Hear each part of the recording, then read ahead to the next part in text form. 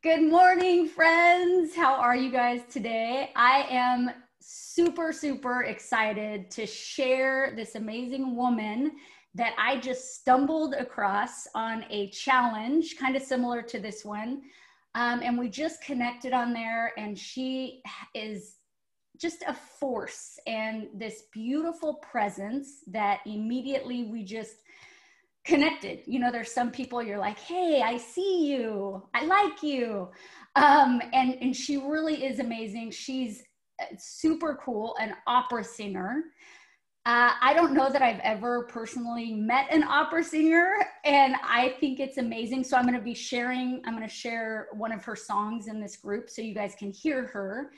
And, but not only that, what I truly love about her is she's taking her passion which is singing and performance and her voice.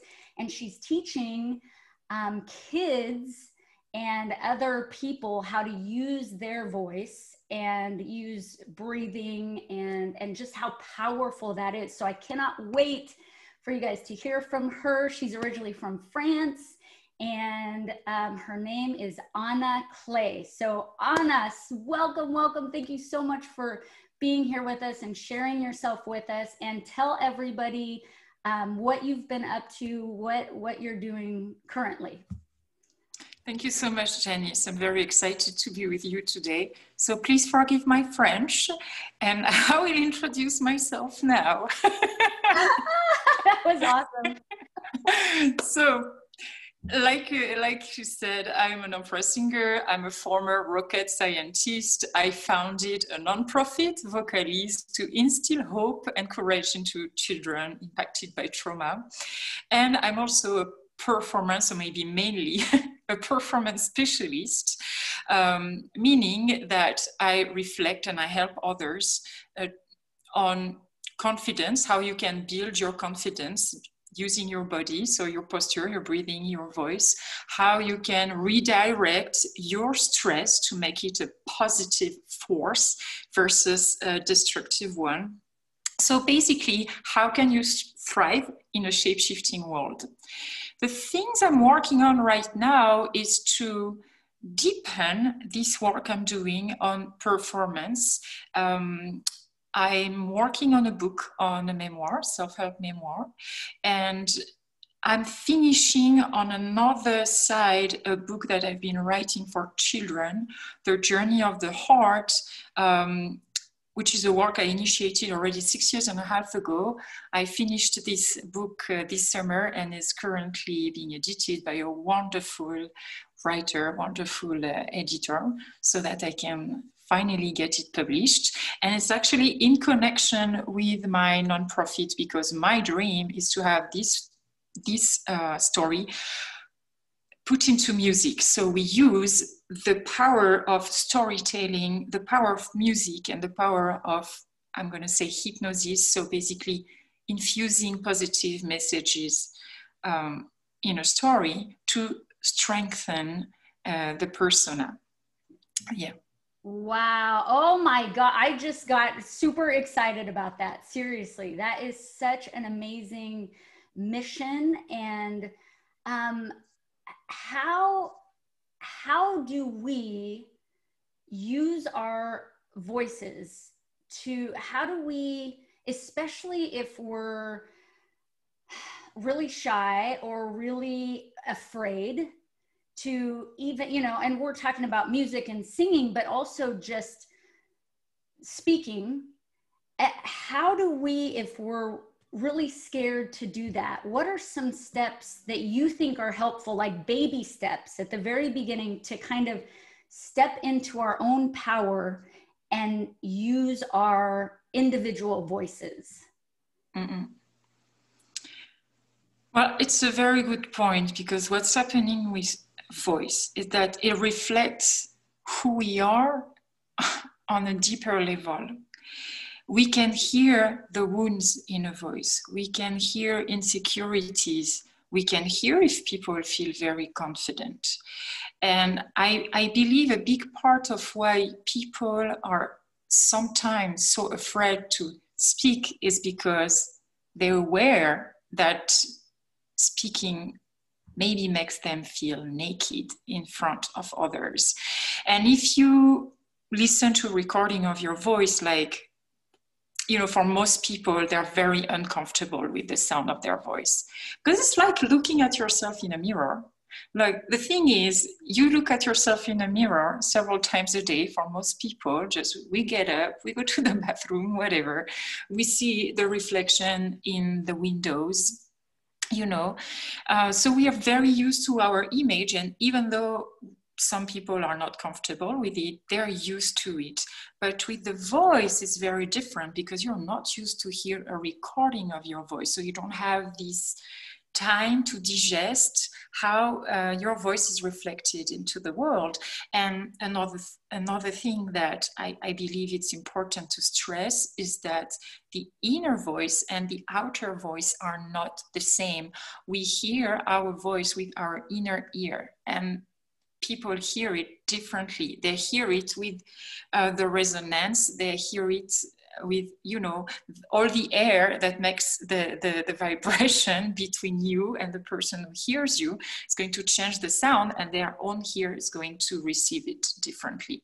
So that's something that you may think you have a certain sound into the world because of your inner ear and it's actually different. And then if you have a feedback from a recording it can be sometimes a shock very uncomfortable annoying and just because the sound is different and a lot because it reflects things that you don't want people to see. You can put makeup on your face, you cannot put makeup on your voice. You have to, if you want to work on it, you have to work on it differently. So, um, you ask me what would be a good baby step. I think a baby step is to understand that your voice, like your body, is something that's here, it cannot change. And a baby step would be to start with acceptance. And it's it's a it's a it's it's actually a big thing, but it's acceptance of the body you received and the voice is a part of your body. And then that's the way you are. What do you do with it? Okay, so you cannot choose the body you receive, but you can choose how you use it, or you can choose how you present it to the world. And with the voice, it's the same thing. The way you speak um, is something you can work on, it's something you can magnify, transform. So there is no fate here. Okay, you received something at first, but then you can do something about it. And if you work on yourself, if you feel better about yourself, it's going to be reflected in your voice. And vice versa, if you work on your voice, it's going to change also the way you actually feel about yourself. So these are very interesting um, things that I need I, I, I think one need to think about when they are very introvert. Another thing I'd like to stress is that, is that uh, myself, I was extremely introvert. And opera singing helped me to get out of my shell. And those techniques that, that I actually share with others um, to use your body to breathe, to place your voice, are the ones that actually help me to become maybe an extrovert. I'm not truly an extrovert, but I'm able to be on a stage and shine. And because you cannot escape who you are, well, you'd better embrace it and shine who you really are because there's only one you in the world. In the whole history of the humanity, there's only one you. There's no one else, not in the past, not in the future, not now, that's like you no one. So it's better embrace it and make it the most positive force you can, you know. So yes, embrace it, acceptance. Oh my gosh, all all the things that is um, at least for me is a continual process in life of um, accepting you know things that we can't change and then the things that we can change taking baby steps you know to to change those things things that are holding us back truly that are just limiting beliefs or fears or things like that. Um, and what would you say as far as breathing because a part of yoga and um, meditation a lot of times has to do with breath work and you know inhaling a certain count and then holding exhaling and there's all different ways of of breath work that are taught and and also that people can experiment with. But what would you say are uh, are some helpful tools for people as far as breathing and breath work just in their daily lives maybe to manage stress or to uh, be more in their bodies be more in the present moment? What would you say? Mm-hmm. well there's obviously really a lot that could be say um, that could be said on the matter. And breathing and voice it's it's it's really um, there's a lot to say there's a lot to work on there's a lot to develop. And i would like to just start with the origin story. When you were born as a baby you knew how to breathe if you watch a baby crying, they can cry for many, many hours, very, very loud, and they never hurt their vocal cords. And when you watch a baby crying, all of their body is opening is very free. And what happens is that as we grow up, we grow in an environment, the family, the society, etc., and we take in all these um, criticism, expectations, etc. And our body tends to shrink or close up as a protection and we do lose this freedom in the body. And what happens is it's going to affect directly our breathing. And i don't know one person in the entire world who actually knows how to breathe as an adult without working on it you know to get back to this origin point it's like you need to relearn you need to relearn how to free your body. And the type of work that can be done in yoga, etc., is nice because it helps you release, but most times it's just a part of the problem like you need to really get the the grounding the anchoring this flexibility and strength at the same time and be able to use this power as you walk into the world, as you express yourself, as you interact with others, because there is so much power in breathing. And I hear a lot, you know, how you can use your breathing to relax. Okay, there is so much more to it. You can use your breathing, your respiratory system is your instrument. You can use that to power yourself, to find your strength, to find your anchor. That's where your anchor is. So that's the way I see it, you know. I guess because I spent mo- like a lifetime to master my instrument, um, that's the understanding that I got now, and that I want to share with others. Just the same way you can redirect your stress. Like stress is not always bad. Stress, sometimes you have to let go, you have to relax. And sometimes stress is a really good thing because it's what makes you perform and be good at something. So what you want is redirect. Well, the same way with breathing, this flow that you have, you can use it to relax, but you can also use it to power through. You know, it's like the ebbs and flows of of the ocean on the sand. It's it's it's there. There's a flow, but it's also really strong. So, and you want to find that in your body.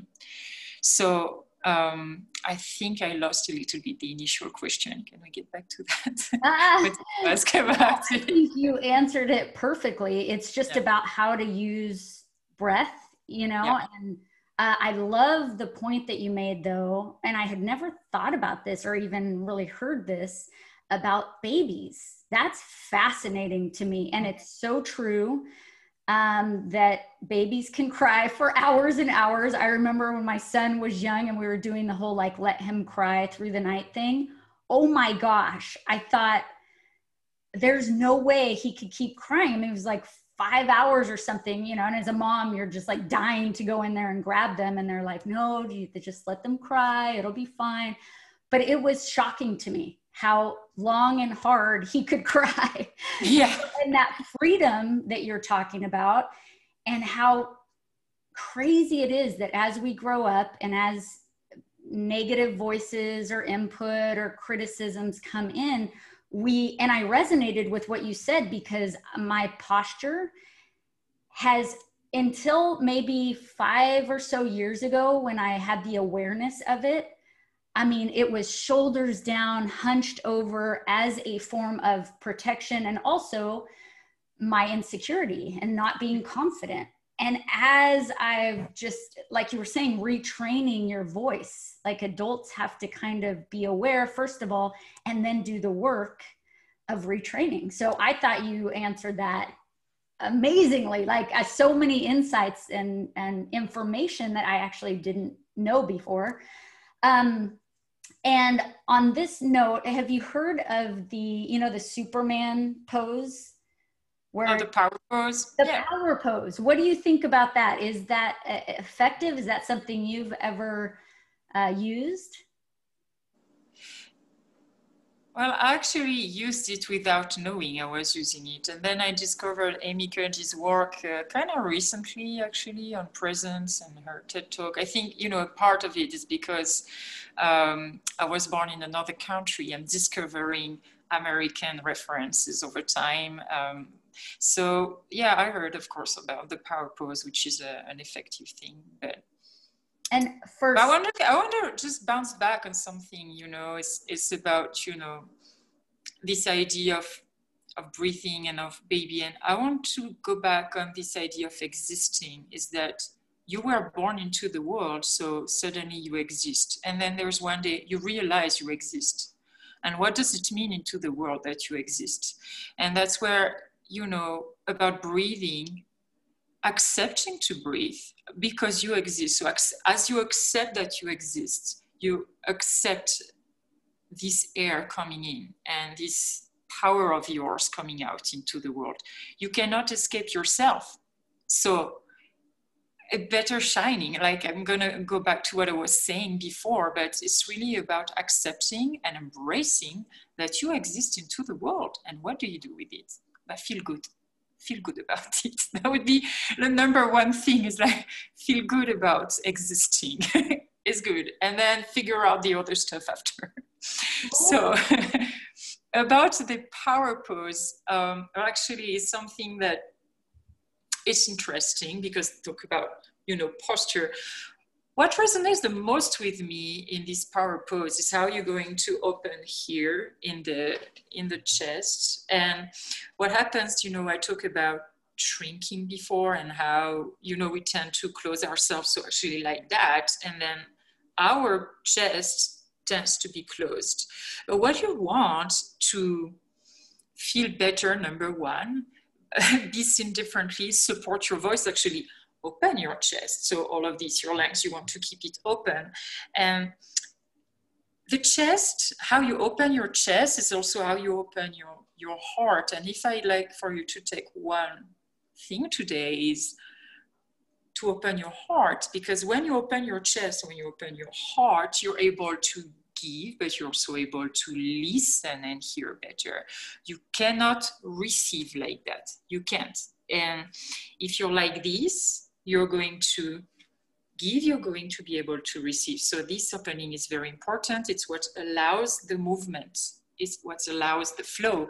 Um, and what fascinates me about breathing is that you have all these parallels of life. Like, okay, there's like the body, how you feel in your body, how you, how you, you know, you, you you're fully um, alive in this um, embodiment of you and then there is the spiritual part is you know like like a um, I'm going to go back to that later, but how we are one into the world, how we are connected to one another through breathing. And there is the mindset, how you, by opening your body, you're actually more open to life and opportunities as well. So that's where breathing, voice, etc. It all goes together. It, it it seems to be a tiny thing for so many people when it's actually so it's our essence. Our essence goes through breathing.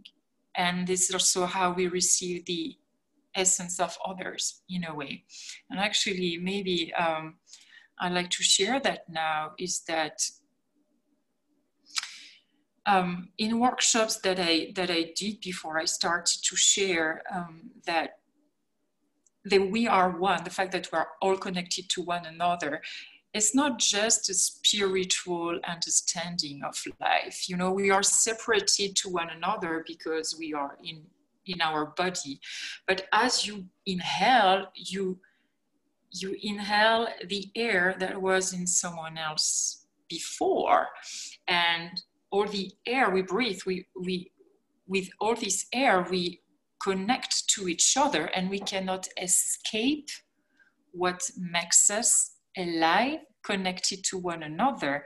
And that's what's so beautiful about it is how we can co-create create our own body. Our own cells are uh, recreating every second with a material that was in someone else before. So you have that on this physical level and we already like co-create this way. We're already alive this way.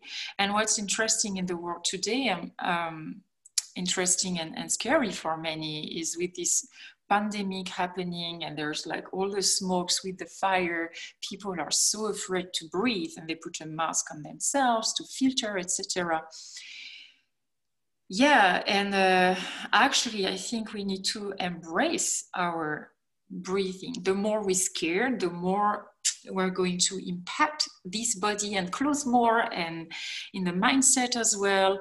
And that even though you know one has to be careful right now we still need to understand this connection we have to one another in a good way. Because people see it now because there's a problem. And maybe that's that's a blessing in disguise actually. Maybe finally you know people can understand yeah we are connected to one another. We are and we cannot escape that.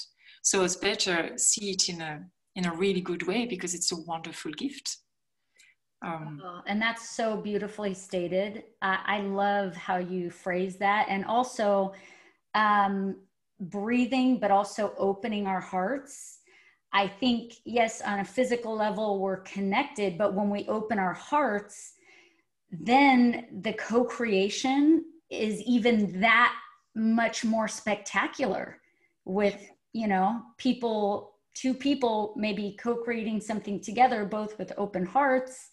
And um, it's like what can't we do? You know how amazing is that? How much power we have just within ourselves but even more so in creating something with somebody else.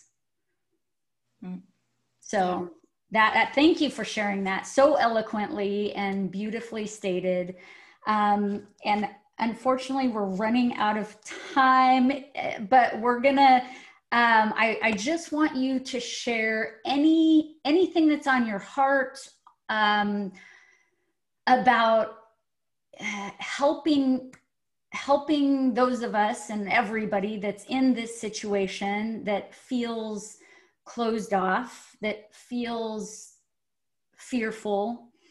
Um, what what are some things that we can do during this time to focus on the positive and to focus on uh, keeping our hearts open and co-creating and doing all of the the good and purposeful things in life? What are some just maybe thoughts that you have about that or ideas for people um, as we move forward this year? Mm-hmm. I think we have a wonderful opportunity to be part of the world of tomorrow today.